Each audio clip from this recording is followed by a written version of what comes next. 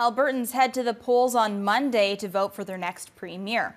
Political analysts say it's been a close race between the United Conservative Party and current Premier Danielle Smith and NDP leader and former Premier Rachel Notley.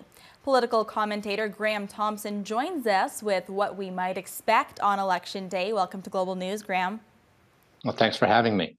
Talk to us about this year's election campaign. It's been a unique one for many reasons, uh, but wildfires have somewhat been overshadowing election coverage. Has that had any impact on the race?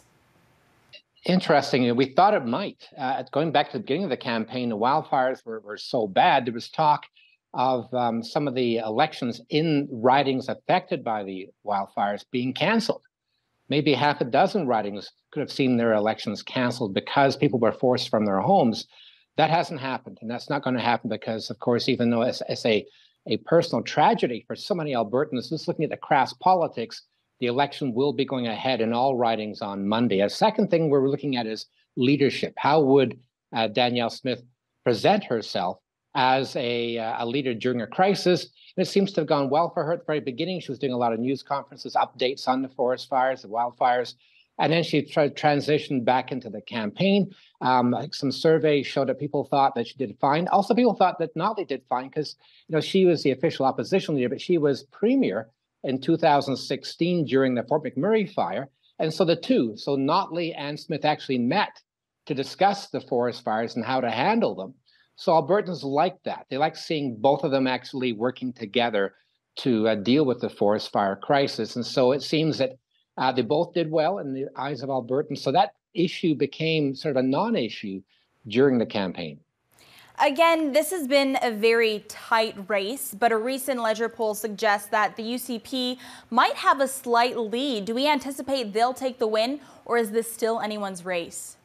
Well, right now we're seeing I think, four or five uh, polls in the last few days, all sort of showing a tilt towards the UCP, uh, some more than others but it's still up for grabs in the sense it's getting out the vote right now. So yes, so even though the inertia is still behind the UCP, uh, it's the incumbent government. Uh, Smith has presented herself as a much more moderate and reasonable uh, leader than she did during the UCP leadership race last year, but she had a very aggressive uh, fight at all costs um, uh, campaign, very divisive.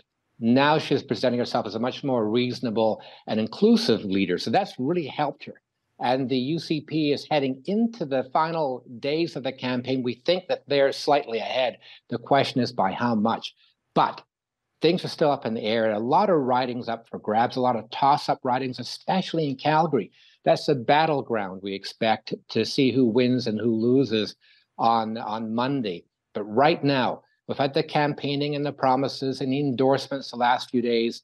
It all comes down to getting out the vote. And this is still a very close election. I've been covering elections. This is my 11th election in Alberta, and I've never seen anything this close. Wow. Okay, let's take a look at the big picture here, Graham. What would an NDP government versus a UCP government mean for the rest of Canada? Describe the influence the two would have on national affairs. Yeah, it's a really important question. It doesn't get asked, I think, often enough. Uh, Notley is sort of saying that she would be um, stand up for Alberta, um, but still work with the federal government and other provinces, much like Peter Lougheed did in the 1970s. You know, get really tough when Ottawa when necessary, but still be inclusive um, Canadian.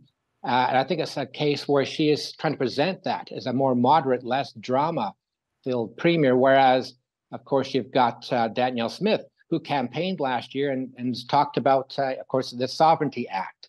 Uh, she passed that in place. She's not, she's not campaigning on the Sovereignty Act because it's not really that popular in Alberta. Sorry, the stand up to Ottawa, never ending wars with Ottawa. So if Smith wins, there's other issues. For example, Smith is likes the idea of Alberta withdrawing from the Canada Pension Plan and forming our own pension plan. That is not easy to do. That would have major impacts in the rest of the country. Now, she says there'll be a referendum on that if she pushes ahead, but still, these are ideas that she likes. Our own revenue agency, our own police force. I mentioned the, the um, Sovereignty Act, basically never ending wars with Ottawa. So you can see, even though Smith is not campaigning on these, because again, they're not popular, These are issues that she has talked about in the past, has not disavowed them. So you can see two very different Albertans, one more um, willing to work with other provinces and the federal government, that's the NDP, and one who is more likely to stand up and start fighting with the federal government, especially with the Trudeau government in Ottawa, and that would be the UCP. We'll leave it for, there for today. Political commentator Graham Thomson joining us. Graham, thanks for this breakdown. You're welcome.